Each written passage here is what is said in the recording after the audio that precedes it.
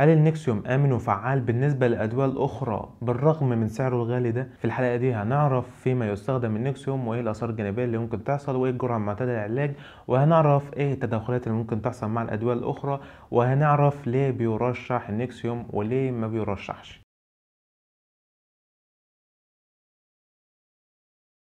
السلام عليكم. الأخبار؟ يا رب تكون دايما بخير وبصحة وسعادة. إن شاء الله في الحلقة دي هنتكلم عن دواء اسمه النكسيوم. بس في البداية لو الحلقة دي عجبتك يا ريت تقول لنا رأيك في ال comments تحت ولو انت حابب موضوع معين نتكلم فيه اعرضه علينا وإن شاء الله هنتكلم فيه في الحلقات القادمة. بس في البداية تعال نقول ما هو النكسيوم. النكسيوم دي دواء من ضمن الأدوية اللي بنستخدمها في علاج القرح والحموضة بتاعة المعدة. المادة اللي موجودة فيها اسمها إيزوميبرازول. كيف يعمل النكسيوم؟ بدل ما بنقول كيف يعمل النكسيوم يبقى إحنا كده بنقول كيف يعمل الإيزوموبرازول اللي هي المادة الفعالة اللي موجودة في النكسيوم بتبقى موجودة تحت كده بيبقى موجود النكسيوم وتحتها كده إيزوموبرازول. بتعمل مادة الإيزوموبرازول عن طريق إن هو proton pump inhibitor يعني بيثبط مضخات البروتون وبالتالي بيقلل من أفراز اللي هو ال HCl فيما يستخدم النكسيوم بيستخدم النكسيوم في علاج حاجات كتيرة جدا خاصة بالجهاز الهضمي. زي مثلا بيعالج القرحة والحموضة بتاعة المعدة وبيعالج قرحة الاثنى عشر. ومن ضمن الاستخدامات المشهورة جدا للنكسيوم إن هو بيستخدم مع كورس من ضمن الأدوية اللي بتستخدم في علاج جرثومة المعدة. وبرضه ممكن نستخدم النكسيوم مع الناس اللي عندها حموضة أو قرحة في المعدة بسبب استخدامات المسكنات والأدوية المضادة للالتهابات اللي هي بتبقى خاصة non-steroidal anti-inflammatory drugs وبيستخدم برضك مع الناس اللي عندها مشاكل في ارتجاع المريء وبرضك يندرج تحتها اللي ممكن يستخدمها ناس عندهم التهابات في القولون لأن الالتهابات بتاعة القولون بتبقى سببها إن بيبقى في أحماض زيادة جاية من المعدة وبالتالي بيحصل التهابات في القولون وبالتالي ممكن النكسيوم أو مادة الإزموبرازول تعالج الالتهابات اللي موجودة في القولون. ما هي الجرعة المعتادة للعلاج؟ طبعا النكسيوم نازل بتركيزات كتيرة جدا ودي اللي بيميزه عن غيره. لأنه نازل بصورة فورات بيبقى تركيزها 10 مللي جرام وده بيبقى مناسب جدا للأطفال. وبالتالي بناخد الجرعة دي قبل الأكل الجرعة بتاعت الأطفال قبل الأكل وتبقى مرة واحدة بس في اليوم. وبرضه في منها اقراص بيبقى بتركيزات 20 و40 مللي جرام وبرضه الجرعة تبقى مرة واحدة بس في اليوم. خد بالك إن الجرعة بتبقى 20 أو 40 مللي جرام في اليوم. ودي اللي بيحدد الجرعة دي الدكتور. يعني سواء ممكن تكون تحت إشراف الطبيب أو الصيدلي ممكن تصرف عادي بدون أي مشاكل. وبرضو الجرعة بنقولها تاني بتبقى مرة واحدة بس في اليوم سواء 20 أو 40 ودي بيكون على حسب الحالة اللي موجودة قدامنا. ما هي الأعراض الجانبية للنكسيوم؟ يعتبر مفيش حد اشتكى من الأعراض الجانبية للنكسيوم أو أي مادة تانية خاصة بال proton pump inhibitor بس الأعراض الجانبية بتندرج بتبقى فيها حاجات يا إما تكون شديدة قوي يا إما تكون حاجات بتبقى بسيطة جدا.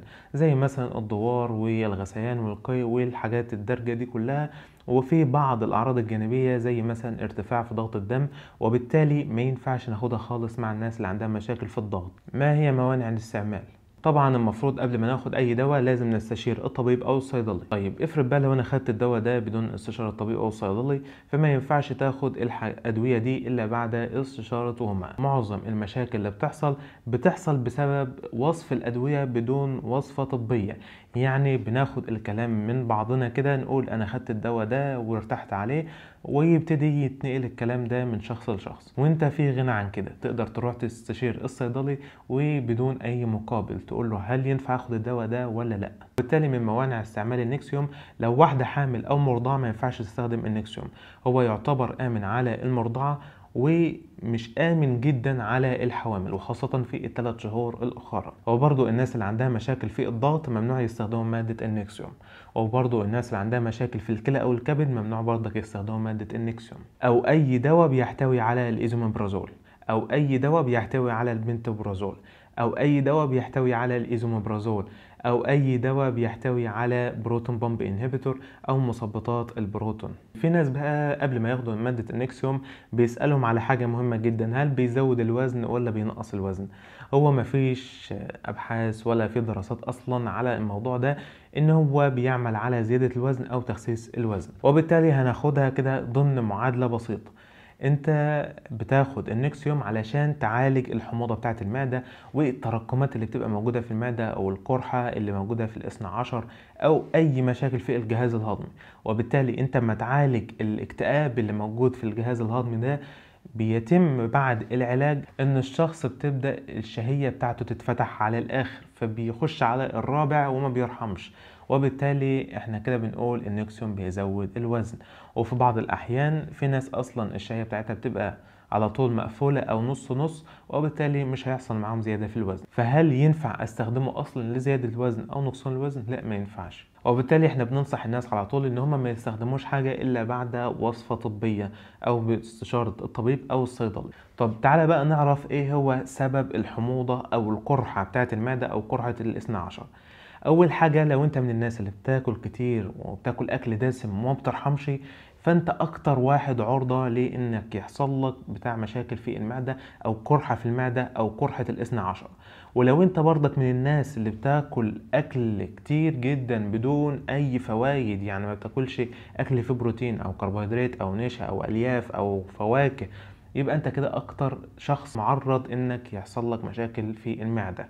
أو الإثنى عشر. وبرضه لو أنت من الناس اللي بتشرب سجاير على طول فأنت برضك بيبقى يجيلك حموضة على طول.